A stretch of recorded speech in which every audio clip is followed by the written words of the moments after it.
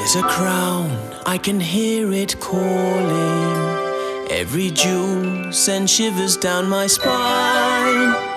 There's a crown on my head is falling to hide my receding hairline.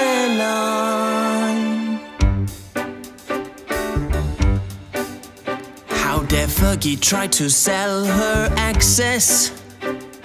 For half a million pounds or so. Oh, she knew the mess she'd make, flogging royals to the sheikh, and it sucks like John Bryan sucked her toe.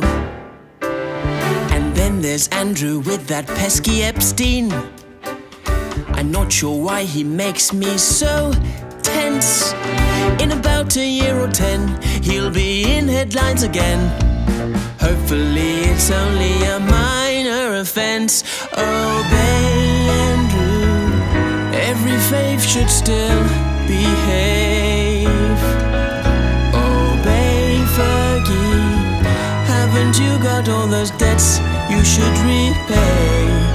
Any more dishonesty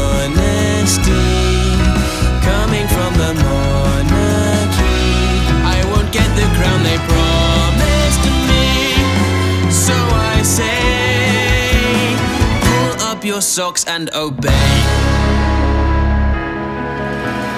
And talking scandals, well, I've had my fair share.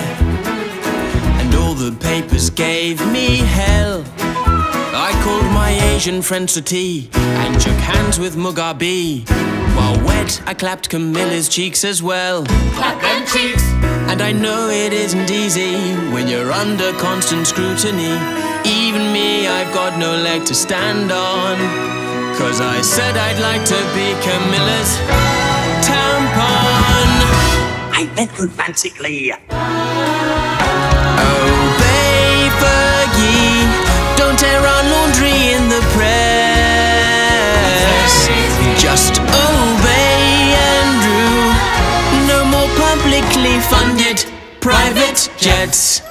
Can you collectively just agree to wind your necks in, please, so that I'll fulfill my destiny? Again, I say, pull up your socks and obey. The crown's so close, I can almost taste it. I get one shot to succeed, I won't let you two waste it.